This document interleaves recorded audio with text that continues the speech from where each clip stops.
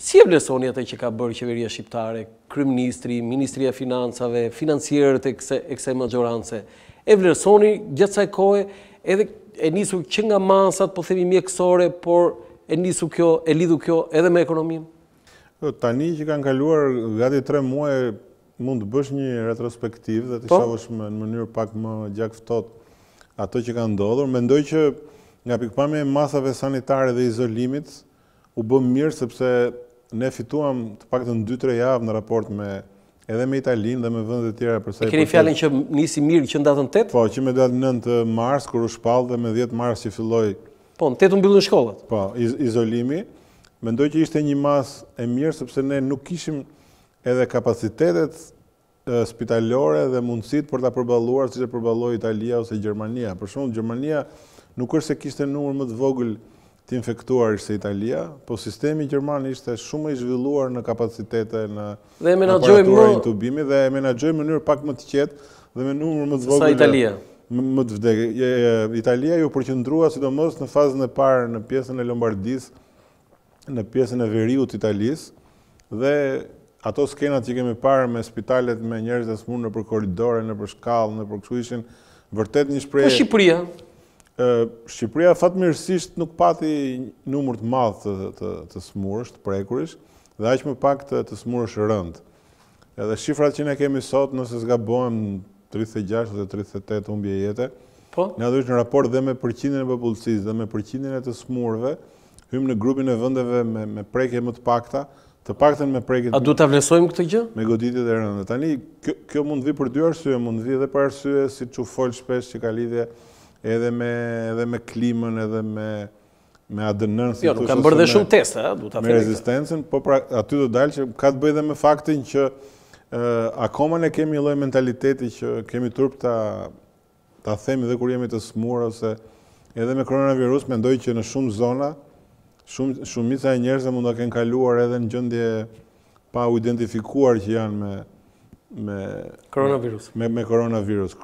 Po besoj që me aqë mundësi sa kishim, mënyrë modeste, Të paktën u ndërmor po ajo lloj politike, po ato masa të ngjashme me me vendet e tjera. Po sot aktualisht që ne kemi mesatarisht gjashtëdhjetë shtatëdhjetë në ditë, mos është kjo pjesa po themi e gabimit, dakord ajo pjesa e parë e qeverisë ishte një fitore, mos është tani një gabim, sepse ne nuk shohim njeri në rrugë me maska profesor tani, u lëshua fare, u Kjo në në fakt u diskutua shumë a do kishte një valë të dytë dhe një valë të tretë, Dhe një pjesë e madhe e specialistëve dhe ekspertëve, mjekësisë dhe shëndetësisë, edhe virusologjisë e thanë fakt që do ketë dhe një valë të dytë dhe një valë të tretë me gjithë teoritë dhe diskutimet që po të vijë vera, po të ngjante me gjithë viruset e tjera, normalisht me rritjen e temperaturave duhet t'i humbte fuqia.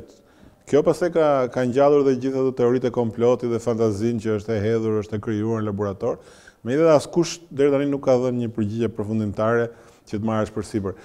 Për të vazhduar atë reagimin e e qeverisë shqiptare do thoja që ndërsa mund të vlerësohet mirë dhe e pranueshme pjesa e protokolleve sanitare, Lë për të dëshiruar pjesa e mbështetjes ekonomike dhe këtu do dalim tani. E paketave që ndërmori. Çfarë çfarë ndodhi me këtë? Ju jeni, domethënë, e vlerësoni atë që ka bërë qeveria për paketën ekonomike me gjithë këtë, domethënë, po themi për gjithë situatën e koronavirusit? Mendoj mendoj që ka qenë një më më minimaliste se ç'duhej, pavarësisht nga kufizimet buxhetore dhe financiare që ne kemi, se nuk mund të pretendonim që të ndiqnim të njëjtat formula edhe masa që morën vendet e pasura, po, po gjithsesi debati i parë që ishte debat konceptual se si do veprohej dhe strategjik ishte a do ndihmoheshe, do ndihmohej konsumi dhe shtresat më të varfra apo do ndihmohej ekonomia direkt. Dhe në fakt faza jonë e parë, atë që quajtën paketa A,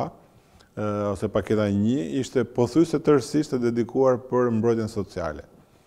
në sensin që edhe paga e luftës, edhe pastaj pagesa e dytë prej dyzet mijë lekësh për ata që ishin në biznese më, me xhiro më të madhe se katërmbëdhjetë milionë lekë, po dhe disa falje të ndryshme që u bënë, ishin kryesisht një përballje për të reduktuar varfërinë, për të mbajtur në një nivel ekzistencial konsumi, shtresat e varfra, sidomos pjesën më vulnerabël që kishte biznesi shumë i vogël ose i vogël apo të vetëpunësuarit që në ato momente ishin të sigurtë që e kishin humbur punën.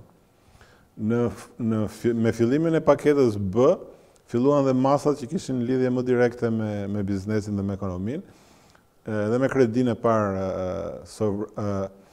të garantuar sovrane prej 100 milionë dollarësh, po dhe me me garancinë e dytë sovrane prej 150 milion dollarë të tjera, që në parim në fakt ishte një instrument i mirë. Në praktikë rezultoi më problematik dhe më i avashtë se ç'duhej. Çfarë bëri gabim qeveria në mënyrë specifike? Më shumë se sa gabim, do thoja mund të kishte bërë një zgjedhje pak më më direkte, po të referohesh edhe formulave që kanë përdorur dhe vendet tjera, qoftë dhe vendet si Maqedonia, Serbia, mos shkojmë ke vendet shumë të pasura. Çfarë konkretisht? Ato bënë një ndërhyrje direkte me likuiditet në biznes, me filozofinë që natyrisht këto goditje ishin shumë goditje të mëdha dhe askush nuk duhet mendonte që qoftë bizneset, qoftë individi që shteti do kompensonte gjithçka. Në një farë mënyre të gjithë do kishin humbje nga kjo që ndodhi. Por, ndërhyrja në biznes dhe mbështetja e biznesit duhet synonte që mos ta çonte biznesin deri në pikën e fundit pa kthim.